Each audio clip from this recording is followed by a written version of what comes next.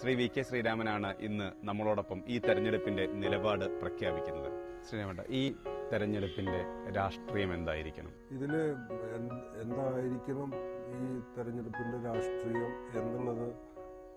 ഞാനത് ആലോചിക്കുമ്പോൾ എന്റെ ഒരു സ്വകാര്യ സ്വപ്നം മാത്രമായിട്ട് മാറാനാണ് അത് സാധ്യത. കാരണം നമ്മൾ ആഗ്രഹിക്കുന്നത് ഈ സാമൂഹ്യ പ്രതിബദ്ധതയുള്ള പ്രവർത്തകർ ഈ തദ്ദേശ ഭരണ സംവിധാനത്തിലേക്ക് കടന്നു വന്ന്.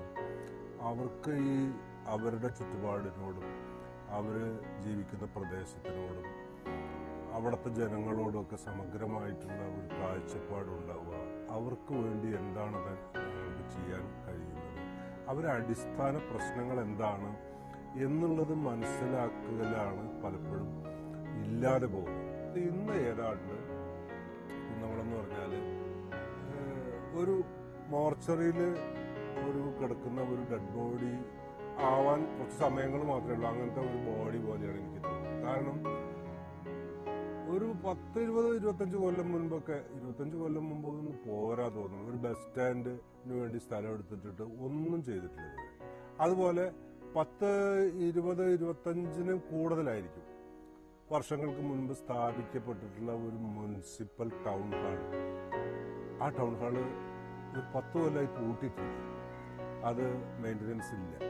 സ്വാതന്ത്ര്യത്തിന് മുൻപ് ആയിരത്തി തൊള്ളായിരത്തി മുപ്പത്തിനാലിലൊക്കെ രൂപീകരിച്ച ഒരു നിയമ സഭാ ആ, മണ്ഡലത്തിന്റെ കേന്ദ്രമാണ് അപ്പം അത്രയും പാരമ്പര്യമുള്ള ഒരു നഗരത്തിന്റെ ഇപ്പോഴത്തെ അവസ്ഥ.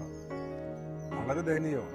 വളരെ ദയനീയം എന്ന് പറഞ്ഞാൽ എങ്ങനെ ഈ സാമൂഹ്യ പ്രതിബദ്ധതയില്ലാത്ത മനുഷ്യര് ജനപ്രതിനിധികളായിട്ട് വന്നിട്ട് ഭരണം നടത്തിയതിന്റെ ഉദാഹരണം എന്നുള്ള എനിക്ക് കാണിക്കാവുന്ന ഒരു സ്ഥലം.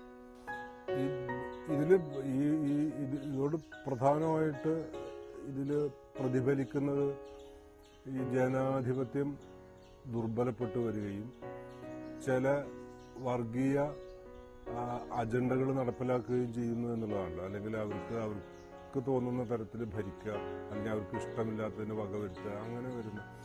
അത് വളരെ മാരകവും ഭീതിദായകവുമായിട്ടുള്ള ഒരു അവസ്ഥയാണ് കേരളത്തിലുള്ളത്. അരി കിട്ടുന്നില്ല മണ്ണെണ്ണ കിട്ടുന്നില്ല പഞ്ചാര കിട്ടുന്നില്ല എന്നുള്ള പോലത്തെ എന്തെങ്കിലും പ്രശ്നങ്ങൾ വരുമ്പോൾ അങ്ങനെ അത്രമാത്രം നമ്മൾ ഒരു ആത്മാന ആത്മാനുരാഗികളുടെ ഒരു സമൂഹമായിട്ട് മാറിയിട്ടുണ്ട്. നമ്മളുടെ ചില സൗകര്യങ്ങൾ സുഖമായിട്ട് ജീവിക്കുക. അതിന് എന്തെങ്കിലും വിഘാതം വരുന്നുണ്ടോ എന്ന് മാത്രം ശ്രദ്ധിക്കുക. അല്ലാതെ വരാൻ പോകുന്ന വലിയ വിപത്തുകളെ പറ്റിയിട്ടൊന്നും ബേജാറാവാൻ നമുക്ക് സമയമില്ല.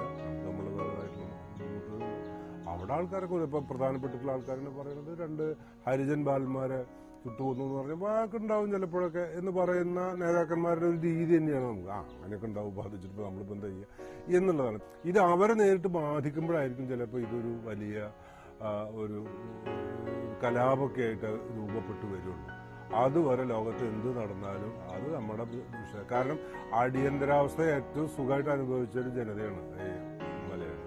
അവർക്ക് ഭയങ്കര ഇഷ്ടമായിരുന്നു.